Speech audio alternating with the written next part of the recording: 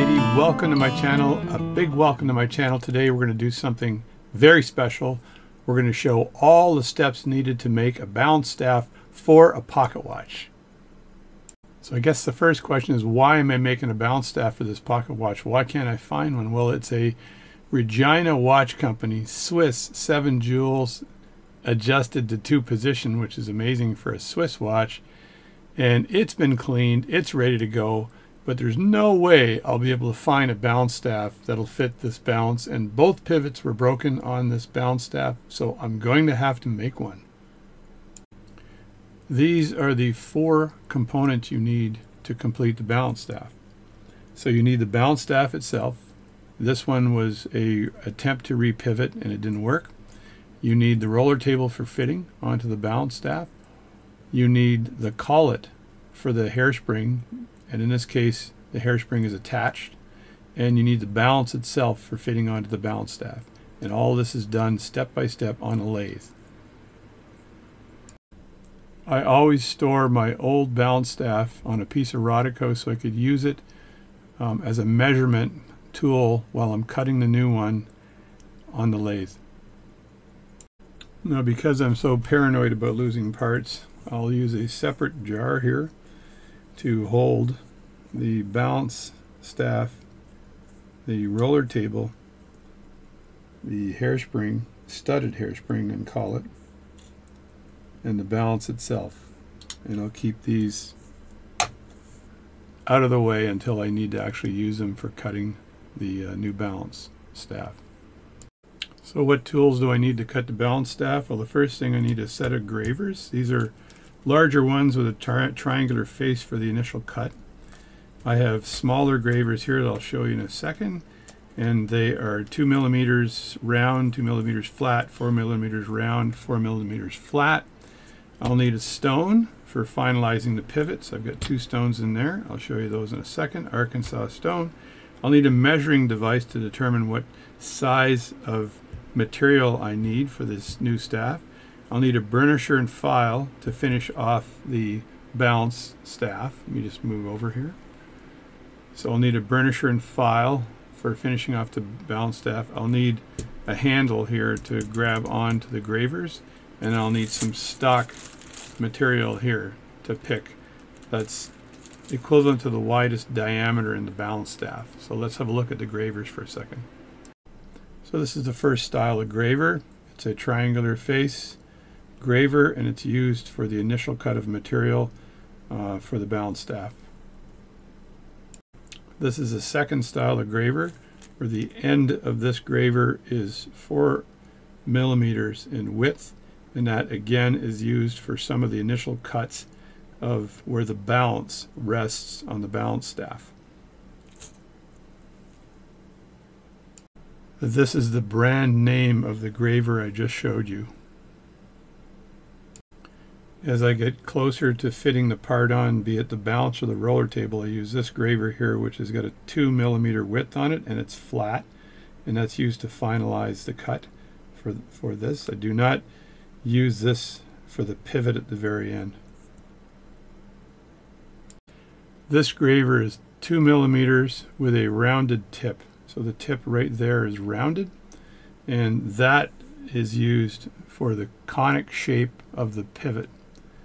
When I've completed the pivot, I do the cone shape as it tapers in or tapers out from the point of the pivot to the larger part. I use this to actually shape the cone and then I go to the stones.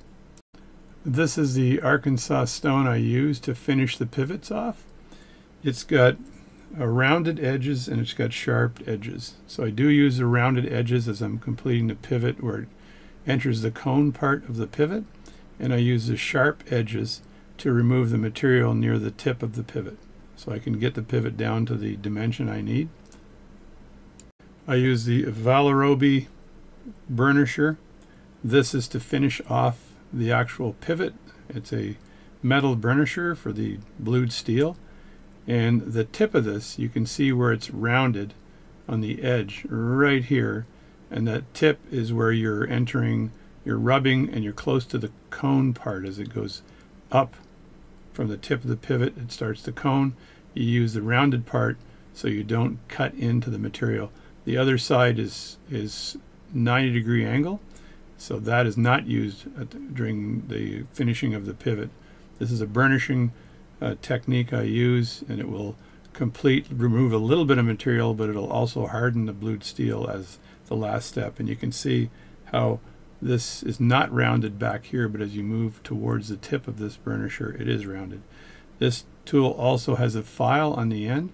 I have sometimes used this file for much larger pivots. Um, if I'm doing a platform balance for a for a clock, um, I'll use this because the pivots are much larger on those balances. And when I talk about much larger, I'm talking about 0.02 to 0.03 times larger. So if I'm I'm looking at a 0.09 pivot for for a very small pocket watch, I might be looking for a 0.12 uh, pivot for a uh, carriage clock platform balance. Then I use a measuring gauge for helping me select the material I need to actually uh, start the pivot off and I only need a very small piece of material here. Maybe one two centimeters of material would would suffice for a pivot and mount it up on the lathe in the uh, lathe collet. And before I forget these are the handles I use to mount up the gravers that I showed you before for for the uh, for doing the work. Now as I cut the pivot or cut the balance staff, I use this gauge. It's called a Douzieme gauge. And the Douzieme gauge, small increments, small diameters here are reflected to a large gauge over here. So I use this device to quickly tell me how close I am to the size I need. Um, and this is for rough cuts. Now you'll need a decent graver sharpener like this one here. So this is where the graver goes in and you and you sharpen that on a plate I won't bring them here, but you've got diamond grit uh, plates that I have to sharpen gravers. Maybe I'll bring them here, but you'll need to do that to make sure the gravers are sharp as can be. And you'll also need a pair of tweezers for this action.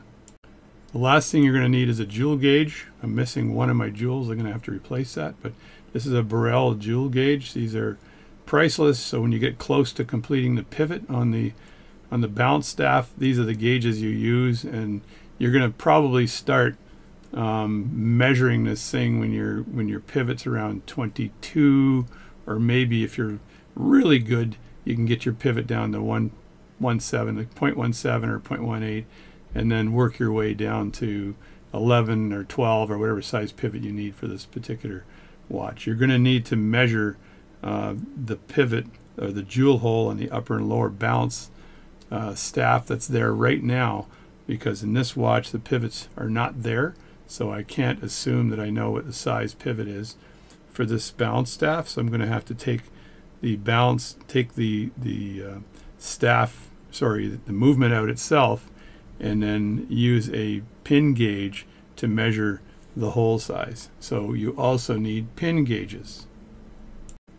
So if you don't have pin gauges you can use the upper balance cock and the jewel that's in there to actually determine the size of the pivot that you need to to to make to fit the upper balance. So you'll also need to use the um, the lower plate right to make sure that, that it fits as well. And you can actually use this on the lathe when the balance staff is being cut to fit it and look very closely to see if it fits properly. But my recommendation is to buy some pin gauges to be able to measure the jewel holes.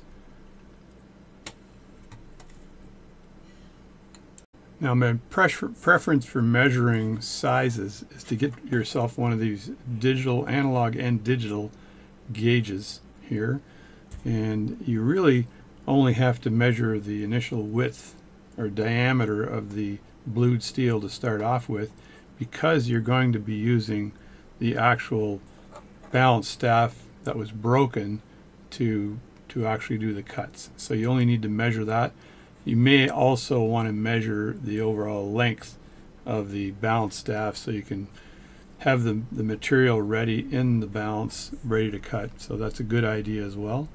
I don't think you need to measure um, anything else because you're going to use the original one to do the cuts. So in my case here it's going to be a little trickier because I've kind of ruined the pivots on the original one, so I, am going to have to make some guesses on the length and see if I can measure the length between uh, the two uh, jewels, upper and lower uh, balance jewels. So I recommend you get yourself a, a decent uh, gauge here to measure to do the measurement. Now you're going to need a decent watchmaker's lathe, and here I've got a very nice, I think it's a Boley watchmaker's lathe. And I've got a counter shaft on here, and this counter shaft is going over to a sewing machine motor to drive it. And this is a very nice uh, setup I have. You do not need the tailstock for this, but you do need a nice flip over tool rest. A non flip over tool rest will not work for making a balance staff. It'll just be in the way too much. And then you need a full set of collets. This is uh, one of my, I have two sets of collets, but this is a full set of collets because you're going to need to have the initial collet that's grabbing the blued steel. And then you're going to, when you flip this over to finish off, you're going to have to have a different collet to grab likely the um, hairspring part of the balance staff to work on the roller table part of the balance staff. So you need a good set of collets in here. I've got a nice set of collets all bagged in here. So these are the ones I use. They're very good. No problem. I've got some of my stock material in the back here. So that is absolutely necessary. So now you're going to need a reference material. If you've never made a balance staff before, this is the Watch Repairer's Manual by Fried. And there's a whole section, 8, if you know your Roman numerals, on how to make a balance staff. So this section goes through all the cuts, all the preparation of material, everything you need to know to make that balance staff. And once you've made the balance staff and adjusted it accordingly, there's a section on how to adjust a balance staff. So there's adjusting a balance staff. So that is pretty handy. And that's how to get the cone right here. And that was the file I showed you earlier and all kinds of other things. But the initial building of the balance staff is absolutely necessary and then you've got to make sure it all works with the roller table in the right position to interface with the pallet fork. Um, this is a, a, nice little diagram in this book here. So it shows the balance staff fitted in nicely and if the if the roller table is too low or too high it doesn't work. It's just it's a it's a precise job. So you need a reference book. You should read the reference book again if you haven't made a balance staff or even if you've made one before because it shows you the measurements over here and it also shows you some of the initial cuts that you need to make.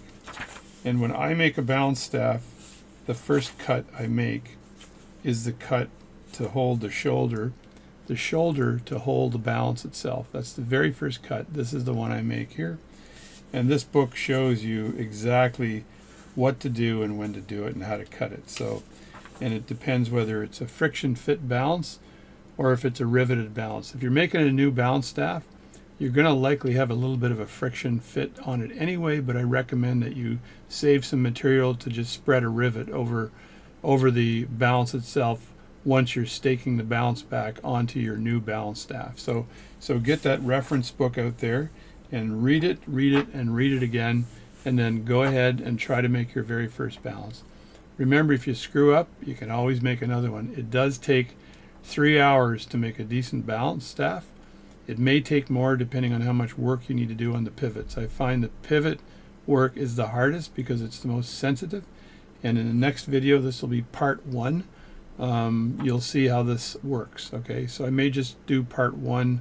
Part two is cutting the raw balance staff. And then part three will be completing the pivots because it's a it's kind of a an art and you've got to get good at it and you don't want to snap the pivot off or the balance is then useless. So let's get on with making a balance staff. I hope this video was useful, but there's going to be video two and three as well on how to make a balance staff. Thanks a lot. Thanks for subscribing to my channel and I'll catch you in the next video. One last note if you've got to make a balance staff, you've got to make a balance staff. You just need to dive into it. There's no hesitation. Get your lathe, get your tools, and say, I'm going to learn how to do this, and just do it. It takes a crap load of patience to make a balance staff and make that one work, one that works perfectly. So I'm going to show you uh, the process in the next couple of videos on me making a balance staff. I have another video, maybe two online in my channel that does show you me making a balance staff, but I'll try to be a little more comprehensive in how to do it with this particular series of videos on how to make a balance staff. Without knowing how to make a balance staff and without having a supplier that can supply you with a new one, you're not going to be able to repair vintage pocket watches. You need to learn this skill.